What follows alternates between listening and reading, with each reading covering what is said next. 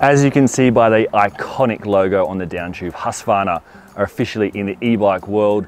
This is the first time we've had one of their bikes to test here at the magazine. Blake's been ripping around on it for a little while now. This is the HC5 or hard cross uh, model uh, in their lineup. It's a big burly bike, there's no denying that. So Blake, give us a run through. What are some of the sort of key figures of this bike? The HC5 features 170 millimeters of rear travel and a 180 millimeter fork on this bike taken care of by some uh, Fox factory gear. Um, comes out of the box as a mullet, so 27.5 rear wheel, which I'm getting along with very nicely, as we all know. Not the tallest bloke, so I like the, the smaller back wheel, easier sort of, sort of maneuver and that kind of thing.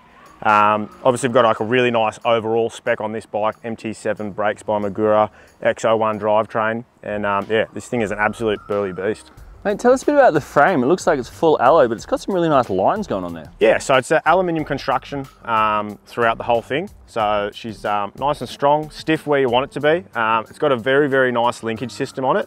It doesn't look like anything too crazy, but the way that the suspension actually performs down the trail, this thing absolutely eats up the rough stuff. Well, we'll get onto that in a second. Let's just finish off on the other key parts. So the motor, what are we talking? Battery, what are we talking? Yeah, so we've got a Shimano EP8 uh, set up with a 720 watt hour battery. So nice middle of the range uh, battery capacity. And as we all know, that 85 Newton meter tried and true uh, Shimano motor, mm. which um, yeah, they've got a, got a really nice mounting system.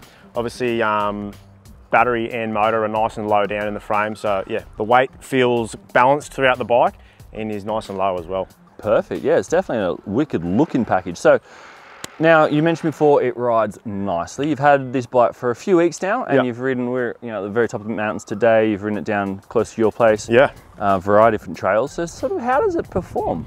It's it's a burler. It's a really burly bike. It doesn't have like it doesn't have any super slack geometry or it's not really long. It's kind of middle of the road, maybe a little bit conservative on the geometry front for a longer travel bike, that is. Um, but I found that to be really, really useful because we, we've got pretty diverse trails up in the mountains. Like we do have some really steep stuff, we've got the flatter stuff. Nothing's particularly high speed, um, but for a long travel bike, it's super maneuverable um, and it's very, very fun. Like obviously it's, it's a full weight sort of e-bike, so it does have a bit of heft behind it, mm. but it tracks really nicely um, through the rough stuff. Mm. Like we've got, you know, lately we haven't had heaps of rain, so the trails are pretty flogged out, to be honest.